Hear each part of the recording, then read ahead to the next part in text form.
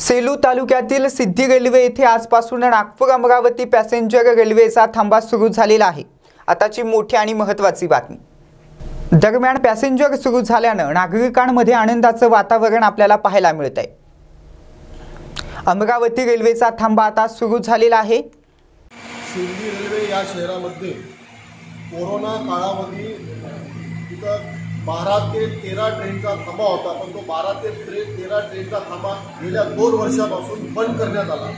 बंद करण्यात आल्यामुळे जे सिंधी रेल्वे प्रॉपरच्या सर्व वासियांनी एक समिती बनवली रेल रोको समिती. या समितीच्या माध्यमातून केंद्रीय मंत्री नितीनजी गडकरी साहेब माननीय खासदार साहेब रेल्वे मंत्री साहेब यांना वारंवार निवेदनं देण्यात आली दिल्लीला जाऊन. पण यांच्यावर कुठंही ॲक्शन घेण्यात आलेली नाही.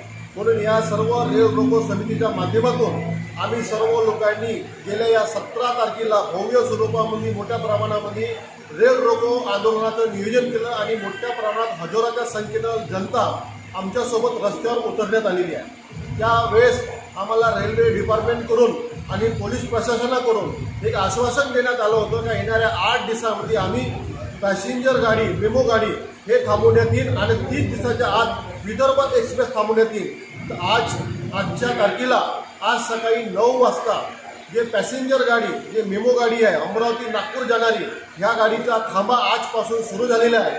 सर्वांमध्ये सिंधीवासियांमध्ये एक आनंदाचं वातावरण आहे. आम्ही जल्लोषामध्ये स्टेशनदारीचे जे स्टेशनदारी मास्टर आणि जे ट्रेनवर जे ट्रेन चालकधार आम्ही यांचं जल्लोषात स्वागत करण्यात आलं शाल स्वीपर देऊन. आणि त्यांना शुभेच्छासुद्धा देण्यात आल्या.